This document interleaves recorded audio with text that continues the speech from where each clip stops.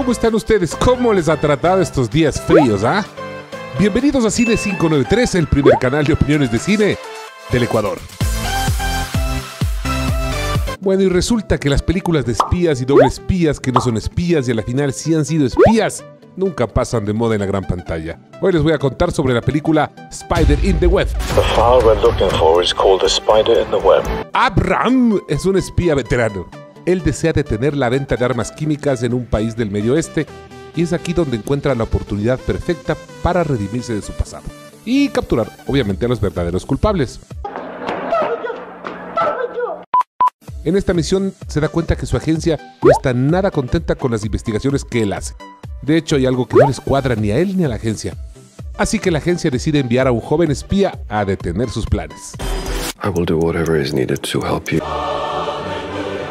Se podría decir que la fotografía, escenarios, espacios, contraste de colores de acuerdo a la historia, porque de ahí... mm, Aburrido. Ah, ¿Qué decías? todo, no, no había guion. Realmente era una historia sin sentido, no se veía quién era el bueno ni el malo, qué países estaban en conflicto, de dónde eran los espías, ni siquiera sabían nacionalidades, entre otras cosas. La historia empieza con un asesinato, luego hay un romance, un hijo abandonado, el complot de los espías, o sea, una mezcla total, agarraron todo y pusieron en una sola cosa y lo que salga. There are a lot of people out there who do anything to stop me from exposing the truth.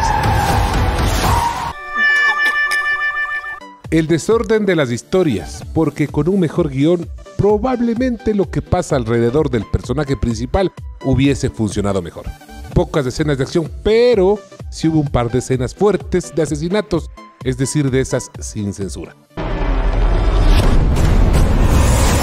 Por todo eso y más, en nuestro termómetro de cine 593, a Spider in the Web le damos un 1 sobre 10 por poner el nombre.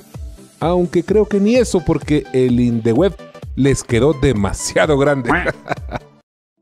Eso es todo por hoy amigos. Recuerden que estamos en todas las redes sociales como Cine593, en Facebook, Twitter e Instagram.